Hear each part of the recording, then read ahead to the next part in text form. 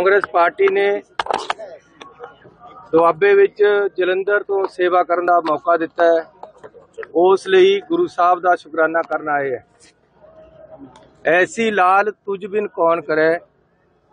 ਗਰੀਬ ਨਵਾਜ ਗੁਸਈਆ ਮੇਰਾ ਮਾਥੇ ਛਤਰ ਧਰੈ। ਮੈਂ ਸੇਵਕ ਬਣ ਕੇ ਜਲੰਧਰ ਔਰ ਦੁਆਬੇ ਵਿੱਚ ਮਾਲਕਾਂ ਕੋਲ ਜਾਣਾ ਹੈ। ਜਿਸ ਤਰ੍ਹਾਂ ਸੁਦਾਮਾ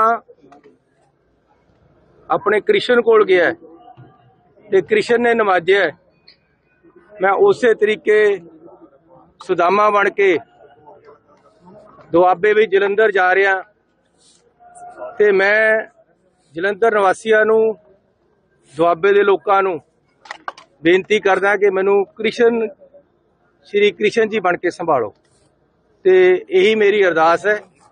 ਇਹੀ ਅਰਦਾਸ ਮੈਂ ਅੱਜ ਸ੍ਰੀ ਹਰਮੰਦਰ ਸਾਹਿਬ ਆ ਕੇ ਕੀਤੀ ਹੈ ਕਿ ਮੈਨੂੰ ਬਲ ਦੇਵੇ ਵਾਹਿਗੁਰੂ ਕਿ ਮੈਂ ਲੋਕਾਂ ਦੀ ਸੇਵਾ ਕਰ ਸਕਾਂ, ਜੋ ਮੇਰੇ ਤੇ ਆਸਾਂ ਉਮੀਦਾਂ ਲੱਗੀਆਂ, ਮੈਂ ਉਹਨਾਂ ਤੇ ਪੂਰਾ ਉਤਰ ਸਕਾਂ।